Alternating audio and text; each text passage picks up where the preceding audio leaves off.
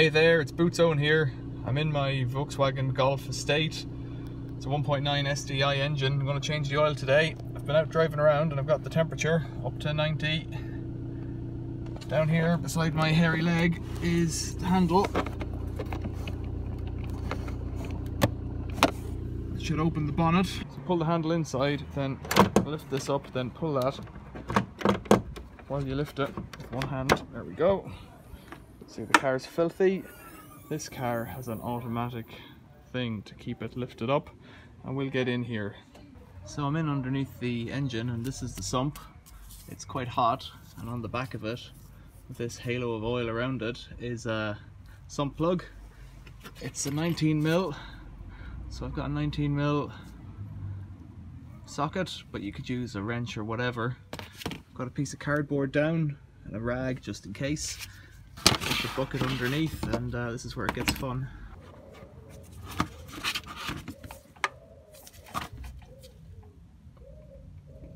There we go. Oh, it's really tight that one.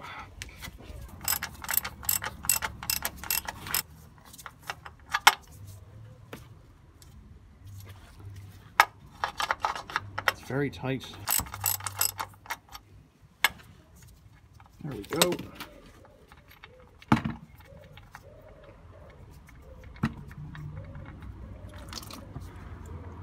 Got it. This is where the rag comes in, clean your hands. There it is, just let it drain off. So while that's draining off, here's the plug. And you can see it's got this washer on it, and I'll show you the other side of it. It should, well, it could unscrew, but it doesn't. It should just fall off. But uh, this should be made of aluminium or copper and you can see on the bench I've got my selection of copper ones. So just clip that and give it a twist it should come off. Will it? There we go. So you can see on this side here. So you can see on it here it's got this little step in it. That's where it's compressed. Uh, you can't really reuse these. If you do the material. If this is this might be aluminium but the ones i'm going to use are copper. They um they work harden and so they don't make the same seal the next time and they could become brittle and crack. But you can see what my pin's getting stuck on there. That's that's already the squeeze that's on it. So i've got to find one that fits and i think that one's a bit loose. I might use one of those because i have them and they're the right size. Maybe yeah. Screw these down. And that will uh, squeeze up whenever I tighten it up.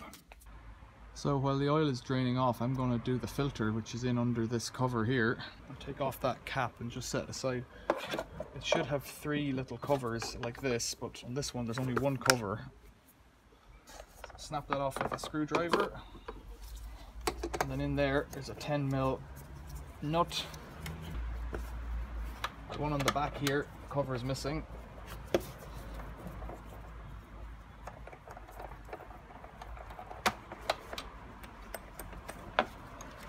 And that's what it looks like. I don't know what's wrong with that one. And this one's just missing completely. So take out the dipstick, give it a clean set of the side. Then that should just lift off and it does. This is an oil filter wrench, but you could use a strap wrench or something like that.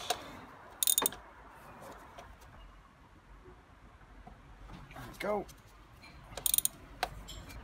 Sometimes you can do these by hand. You really shouldn't need to put it on too tight. Again, this is 90 degrees, like the rest of the engine. So cover and filter should just lift off. I'm going to get something to catch the oil. Washing machine door bowl to the rescue. And that's released more oil inside. Get that right in. Let's have a look at this inside. New filter. There's your numbers. If that helps. Or this one.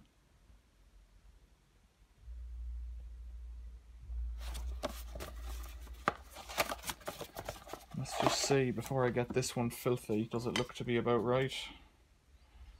I think so. Okay. It also comes with, if I remember, it should come with a couple of O-rings as well. So you need them too. So I think you just uh, bite the bullet here. So here's the big O-ring here. Just hook it off, pull it off with the tool. There's the little O-ring there.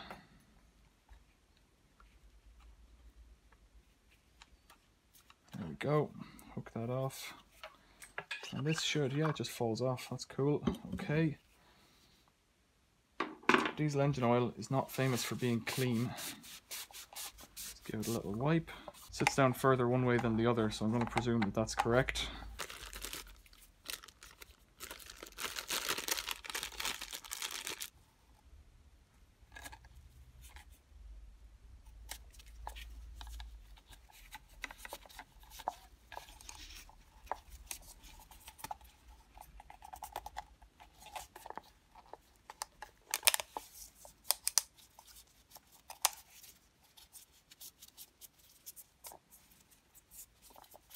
So set it into the groove.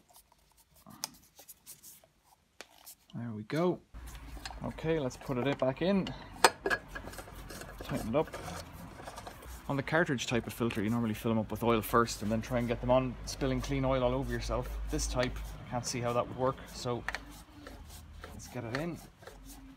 That's it, that's hand tight. And then as tight as you can squeeze it. Let's get the sump plug back in down below. So just looking in there, the threads look pretty good. I just wanted to check that, so I've come down at this angle. So let's put it back together. It'll keep on dripping forever. Gonna try and get it in there as quick as possible. There we go. Give it a wipe afterwards.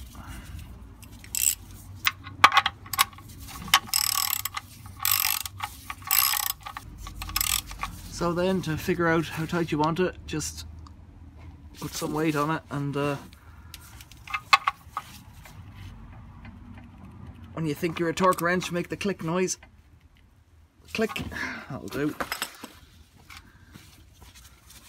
If you're using a spanner of the right length it's highly unlikely that a normal person could put too much load on it or too little.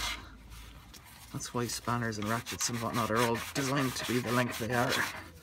A bit of a clean and that's it, let's put oil in it. So putting down that cardboard and taking care meant that I just got a few drips on it there. It's not much, nothing on the floor, it was excellent.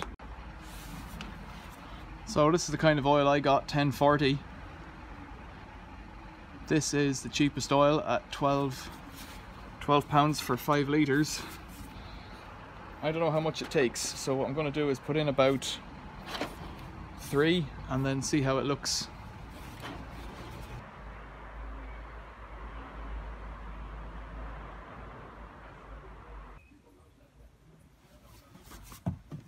Another person would put rags all around it, you know.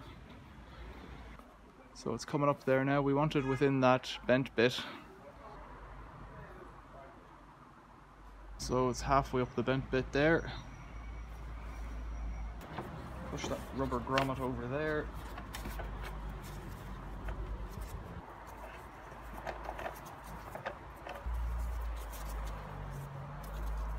This one here doesn't seem to be gripping at all. The thread could be sheared. Whatever.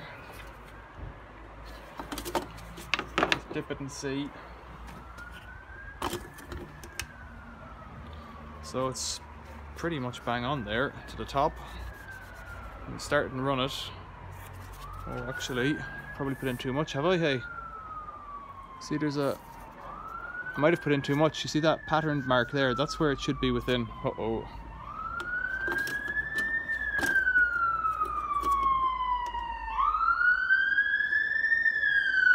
It's a little bit high at the moment. Let's run the engine and see if it comes down a bit.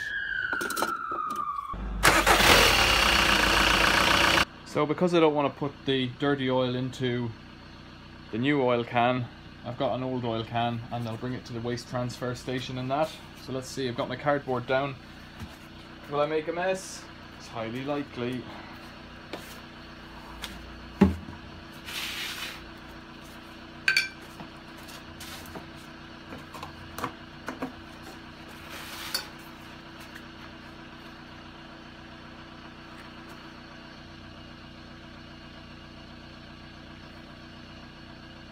Should take it all. There's a little bit in it already, you see. So I'll fix that up to drain the last bit in there and then wipe that out. Okay, so I've run it for about three minutes or five minutes and uh, I've let it cool down for a couple of minutes as well. Not cool down, but drain down. Let's dip it again.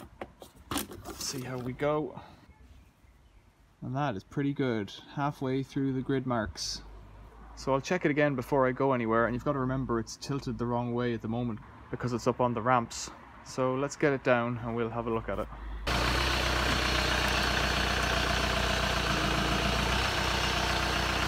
Okay, so it's off the ramps and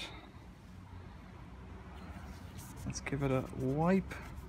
And that's it, it's probably a little bit high, is it? Just over the grid marks, but uh, I'm not too worried about that. I think that'll be okay. Ideally you want a bit less in it. In theory you could wreck your cylinder head gasket, blow your cylinder head doing that. I don't know. It's more likely that you're going to do damage if it's overfilled to the diesel particulate filter and catalytic converter and things like that. This one may or may not have a DPF and either way it has a cat but the cat is quite an old type one so they're not really expensive at all. So, you know, so you could always suck a bit of oil out through the dipstick. I've got a lawnmower pump that you can extract the oil with. You could do that. Or you could do it all again. Not for me. It's a 16, 17 year old car. So it's the next day and I thought I'd just check it again. The engine's cold at this point in time.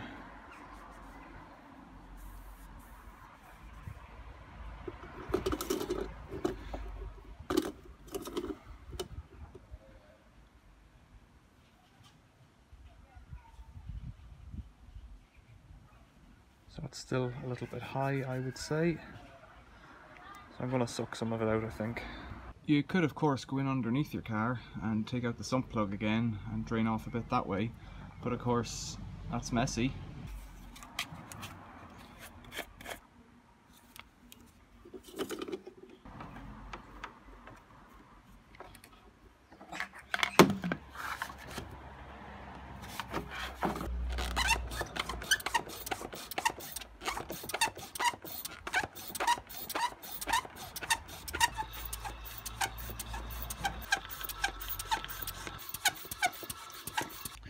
So it's come down by two mil there. Should I do it again? I guess.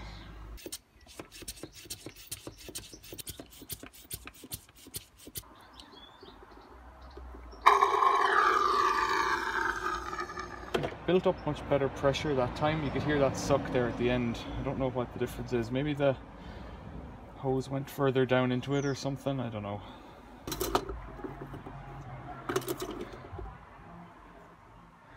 So that couldn't be better. That's it, just on the top edge of the hatched marks.